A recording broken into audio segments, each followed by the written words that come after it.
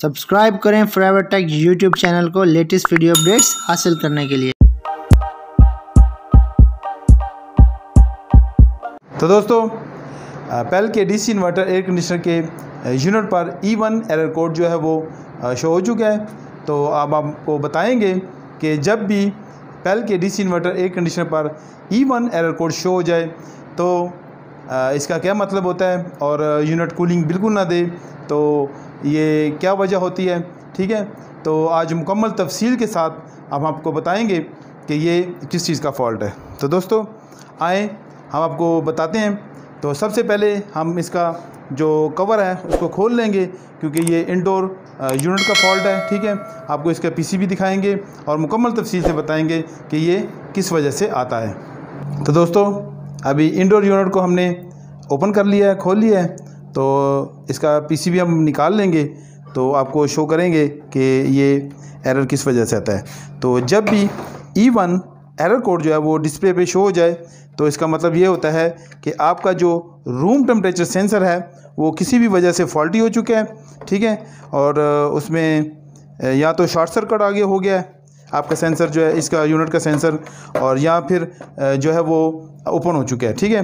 तो आप क्या करेंगे कि इसका सेंसर जो है वो चेंज कर लेंगे। तो मैं आपको आज दिखाता हूँ कि इसका सेंसर कहाँ पे होता है, ठीक है जी? ये देखें, ये जो वाइट वायर ठीक है, आपको नज़र आ रही है और इस कनेक्टर में लगा होता है, ठीक है? और ये वाइट वायर जो है, ये रूम टेम्परेचर सेंसर की वायर है, ठीक है? और ये देखें, कुछ ऐसे दिखाई देता है, ठीक है? अगर ये फॉल्टी हो जाए तो ये ई वन एरर शो करेगा। तो अब इसको फिक्स करने के क्या तरीक़ेकार है, ठीक है? सबसे पहले तो आप इसके जो है वो सेंसर जो है वो चेंज कर लें और सेम वैल्यू की रेजिस्टेंस लगाएँ ताकि ये आपका फॉल्ट जल्दी ठीक हो जाए, ठीक है? अगर आप गलत वैल्यू का जो है वो रेजिस्टेंस वैल्यू का लगा देंगे तो ये आपके लिए मसला कर सकता है और ये दोबारा इवन एरर शो करेगा। अच्छा अगर आपने सेम वैल्यू का लगाना है तो जब आपके पास जो है वो ये सेंसर होगा तो आप इसकी वैल्यू चेक करेंगे तो ये तो ख़राब हो चुके हैं या ओपन हो चुके हैं। तो इसकी वैल्यू तो आपके पास नहीं आएगी। तो इसके लिए आपको पहले से पता होना चाहिए कि इसमें कौन सी वैल्यू का जो है वो सेंसर लगता है, ठीक है? कितनी रेजिस्टेंस की वैल्यू का लगता है, ठीक है? तो वो आपको पहले से कंफर्म होना चाहिए, ठीक है? और फिर आप वो चेंज कर लेंगे तो वो सही हो जाएगा। इसके अलावा अगर आपको पता है कि इसमें कौन सी वैल्यू का सेंसर लगता है, ठीक है? लेकिन आपने चेंज कर दिया और उसके बावजूद भी फॉल्ट ठीक नहीं हुआ तो इसका मतलब ये हुआ कि आपका जो पीसीबी है, उसमें फ़ॉल्ट है, ठीक है? यहाँ पे फाइव वोल्ट आते हैं, ठीक है? वो वोल्ट यहाँ पे मौजूद नहीं है।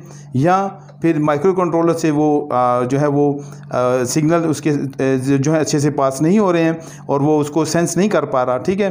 तो आप उसको चेक करवा लें या चेक कर लें तो ये आपका जो एरर है वो ख़त्म हो जाएगा और ये आप ई वन एरर डिस्प्ले से गायब हो जाएगा और यूनिट जो है दोबारा से वर्किंग कंडीशन में वापस आ जाएगा। दोस्तों पेल के डीसी इन्वर्टर एयर कंडीशनर पर E two error code show हो चुका है ठीक है जी? अभी देखें डिस्प्ले पे आ रहा है। तो इसका क्या मतलब है और ये क्यों आता है, हम आपको मुकम्मल तफसील के साथ बताएँगे। लेकिन आपको ये भी इंफॉर्मेशन दे दें कि जब ई टू एरर कोड जो है वो डिस्प्ले पे आएगा तो आपका इंडोर और आउटडोर यूनिट जो है वो काम करता रहेगा। तकरीबन दो से तीन घंटे ये काम करेगा। उसके बाद जो है वो ये स्टॉप हो जाएगा और ये जल्दी भी स्टॉप हो सकता है, लेकिन डिपेंड करता है इसकी अपनी मर्ज़ी पर, ठीक है? कि माइक्रो कंट्रोलर उसको कब स्टॉप करता है।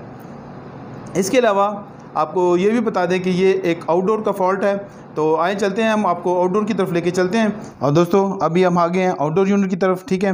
तो आउटडोर यूनिट का ये फॉल्ट है ई टू ठीक है? इसमें कुछ चीज़ें आपको मैं बताऊँगा कि जिनकी वजह से ये प्रॉब्लम हो सकती है, ठीक है? तो सबसे पहले तो आप जो है ई टू को टैकल करने से पहले, इसको ठीक करने से पहले आप इसके इंडोर और आउटडोर को चेक कर लें कि ये बहुत ज़्यादा गंदा तो नहीं है, ठीक है? क्योंकि अगर इसका कंडेंसर और कंडेंसर ख़ास तौर पे, जो देखें ये जाली होती है आउटडोर की, ये जाली अगर बहुत ज़्यादा गंदी है, ठीक है? तो फिर भी ई टू आ सकता है, ठीक है? लेकिन नॉर्मली ये फॉल्ट जो है, वो जिस चीज़ का है, वो भी मैं आपको बता देता हूँ कि जब इसका, ये देखें यहाँ पे आपको ये तीन सेंसर नज़र आ रहे हैं ठीक है?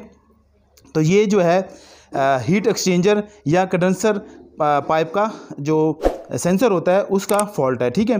तो ये देखें जो इसका कंडेंसर पाइप सेंसर है ठीक है? उसका कलर कोडिंग कुछ ये देखें ब्लू कलर का है ठीक है? ये जो ब्लू कलर का है, ये कंडेंसर पाइप सेंसर है, ठीक है? ये वायर जो आ रही है, ठीक है? और ये इसी देखें, ऊपर इसी कनेक्टर में एक साथ ये तीनों सेंसर लगे होते हैं, ठीक है? अगर ये किसी वजह से टूट जाए, कट जाए तो फिर भी ये आपको E two error code show करेगा। इसके अलावा जो दूसरा फॉल्ट हो सकता है, इसमें पॉसिबल ठीक है? अगर वो सेंसर जो है इसका, आपको मैं दिखा देता हूँ, ये देखें। तो अगर अपनी जगह से वो, अपनी जगह से हिल जाए या अपनी जगह से गिर जाए तो भी ये E two error code show करेगा, ठीक है? क्योंकि कंडेंसर बहुत ज़्यादा गर्म होना शुरू हो जाएगा और उसको सेंस नहीं कर पाएगा तो वो ई टू शो करेगा कि आपका कंडेंसर बहुत ज़्यादा गर्म है, या फिर आपका जो वो है हीट एक्सचेंजर का जो सेंसर है वो अपनी जगह में मौजूद ही नहीं है, ठीक है? उसने अपनी कोशिश करनी है, लेकिन चूँकि वो वहाँ पर मौजूद ही नहीं है तो वो काम नहीं करेगा, ठीक है? इसके अलावा अगर जो ये सेंसर है, ठीक है? इसका तलक चूँकि ये पीसीबी के साथ अटैच होता है तो अगर किसी भी वजह से आपका जो पीसीबी है, ठीक है, वो फॉल्टी हो जाए तो भी ये जो है ई टू एरर शो कर सकता है, ठीक है? लेकिन उसको चेक करने की ज़रूरत होगी कि वहाँ पे फाइव वोल्ट आ रहे हैं और जो माइक्रो कंट्रोलर है, उसको फीडबैक इसकी जा रही है कि नहीं जा रही है, ठीक है? इसके अलावा एक और चांस इसमें होता है, अक्सर जो यूनिट है, उसमें वाइब्रेशन होती है, ठीक है? तो वाइब्रेशन की वजह से यूनिट जो है, वो हिलता है। तो बाज़ का इसके जो कनेक्टर्स होते हैं, अंदर जो मेटालिकली एक साथ जुड़ते हैं वो लूज़ हो जाते हैं। तो वो एक दूसरे के साथ सही से बैठते नहीं हैं, ठीक है? तो काम नहीं सही करते। तो वो भी जो है, उसकी वजह से भी प्रॉब्लम आ सकती है। तो उसके लिए आपको हल क्या करना है? एक दफ़ा कनेक्टर को निकाल लेंगे आप, मुकम्मल, ठीक है? ये देखें, अभी मैं निकाल लेता हूँ इसको। ये देखिए ये निकाल लिया, ठीक है? फिर से इसको करके आगे पीछे करें, तारों को थोड़ा सा हलाएँ और फिर से इसको अपनी जगह पे प्रेस कर दें, ठीक है?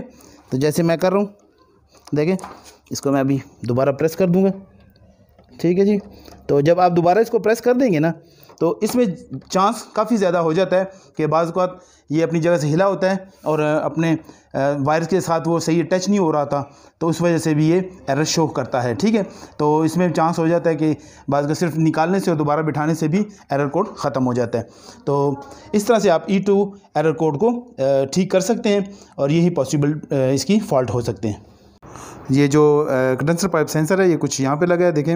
ये एक्सपेंशन वाल और कैपरी ट्यूब से पहले लगा होता है, ठीक है? देखें, ये कैपरी ट्यूब है, आपको नज़र आ रही होगी, और ये रहा इसका जो सेंसर है, ठीक है? तो यहाँ पे ये लगा होता है।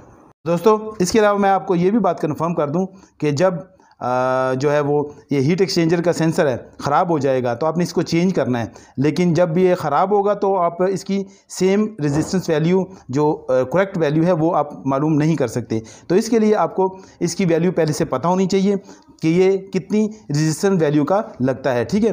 तो आप इसको उस एग्जैक्ट वैल्यू के साथ चेंज कर दें तो फिर ये सही होगा। अगर आप इसको इसको अगर मैयर करेंगे तो ये तो ख़राब है, ख़राब तो कुछ भी वैल्यू दे सकता है। तो इसलिए आपको एग्जैक्ट वैल्यू को पहले से पता होना चाहिए। जी दोस्तों वीडियो देख लिया आपने? तो उम्मीद करता हूँ आज की ये वीडियो भी आपको बहुत ज़्यादा पसंद आई होगी और आपके बहुत ज़्यादा काम आएगी और आप इसे बहुत ज़्यादा भरपूर फ़ायदा उठाएँगे। तो दोस्तों, मिलते हैं नेक्स्ट वीडियो में।